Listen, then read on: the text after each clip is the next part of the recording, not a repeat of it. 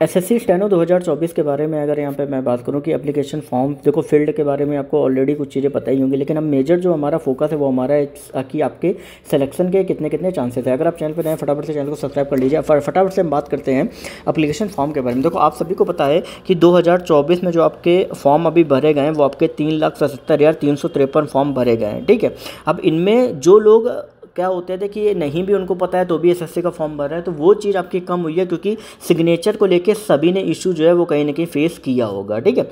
2023 के बारे में अगर यहाँ पे मैं बात करूँ 2023 में पाँच लाख नौ हज़ार दो सौ पंद्रह फॉर्म भरे थे और 2022 में तो आपके ज़्यादा थे पाँच लाख सत्ताईस हज़ार आठ सौ अट्ठानवे।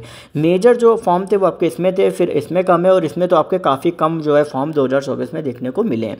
तो लगभग मान लो कुछ जो फालतू फॉर्म थे वो तो आपके निकल ही गए हैं। जो सीरियस कैंडिडेट है, वो कहीं ना कहीं आपके तीन लाख सत्तर हज़ार में काफ़ी ज़्यादा है, ठीक है? अब यहाँ पे अगर आप मोटा मोटा अगर यहाँ से आप कैलकुलेट करोगे तो अभी तक जो आपकी वैकेंसी थी अगर 2023 में देखोगे तो लगभग आपका 1200 कुछ आपका जो वैकेंसी है, वो लगभग 1290 या कुछ ऐसे ही वैकेंसी आपका 2023 में था। 22 में तो आपका लगभग चार हज़ार करीब वैकेंसी था, लेकिन यहाँ पे 24 में आपको पता है 2006 वैकेंसी है।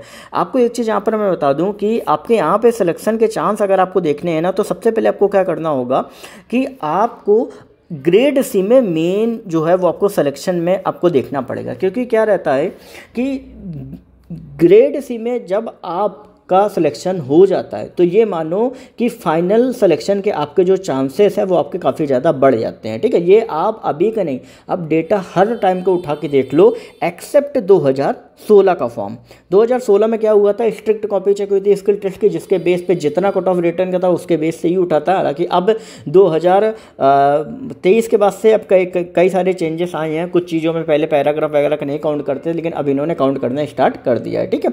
अब लेकिन यहाँ पर हम बात करते हैं आपका जो कैंडिडेट सेलेक्ट होंगे आपका सीबीटी में। देखो सीबीटी का जो रिज़ल्ट आता है ना, ठीक है, वो किस तरीके से आता है, वो मैं आपको बता देता हूँ कि सी में कोशिश करी जाती है कि 45 फाइव फोर टाइम्स जो बच्चे हैं वो आपके सेलेक्ट किए जाते हैं subjected to number of vacancy in grade C number of vacancy grade C के बेसिस पे आपके जो बच्चे हैं, वो आपके सेलेक्ट किए जाते हैं।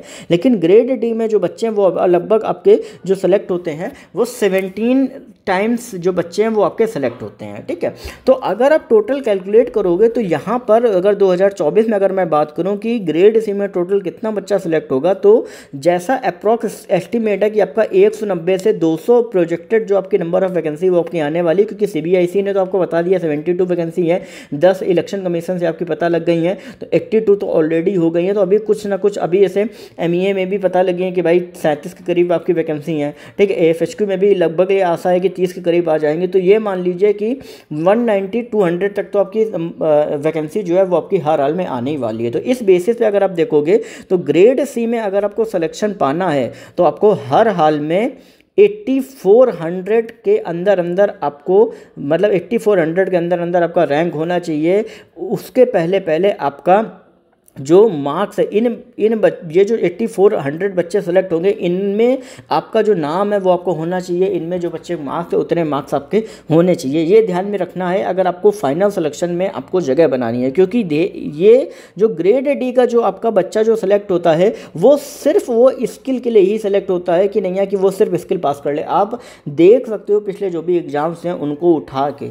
तो अभी आपको फोकस सिर्फ़ अभी ये करना है ना कि सीबीटी में आपको ज़्यादातर कोशिश करनी कि जब भी आप मॉक टेस्ट वगैरह लगा रहे हो तो उसमें कोशिश करो कि पचासी सौ से कम आपका रैंक जो है आप देखते होगे, जब मॉक टेस्ट वगैरह लगाते होगे तो वहाँ पे रैंक वगैरह दिया होता है। तो वो चीज़ आप देखिए कि आपका रैंक जो है, वो आपका कितना आ रहा है पर्टिकुलर जितने भी स्टूडेंट जो मॉक टेस्ट दे रहे हैं, ठीक है? उस बेसिस पे पूरा आप कैलकुलेट करिए और कोशिश ये करो कि हर हाल में मेरा पचासी सौ के अंदर रैंक आए तभी आप फाइनल सिलेक्शन के लिए आप दावेदारी कर पाओगे। ग्रेड डी में अगर सिर्फ़ आप सिलेक्ट हुए तो आप नहीं कर पाओगे ध्यान में रखना। और ये जो मैं आपको बात बता रहा हूँ ये हर कैटेगरी के लिए बात है। हाँ, कुछ कैटेगरी में थोड़ा लैक्स रहता है ठीक है लेकिन फिर भी अभी आज के डेट में लगभग जो बच्चा ग्रेड सी में पास होता है वही कहीं ना कहीं फाइनल सिलेक्शन में उसका नाम आने के पूरे पूरे चांसेस रहते हैं। ध्यान में रखें बाकी अपडेट्स के लिए चैनल को सब्सक्राइब करके बेल नोटिफिकेशन आइकन को ऑल पे कर सकते हैं। टेलीग्राम ग्रुप ज्वाइन कर लेना व्हाट्सअप वगैरह ग्रुप ज्वाइन कर लेना जो भी क्वेरी रहेगी पे आपकी